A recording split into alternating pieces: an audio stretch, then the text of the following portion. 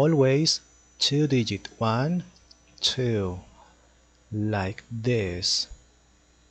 One two point percent. Eliminate zero on this side. After the point there are not numbers therefore eliminate three percent.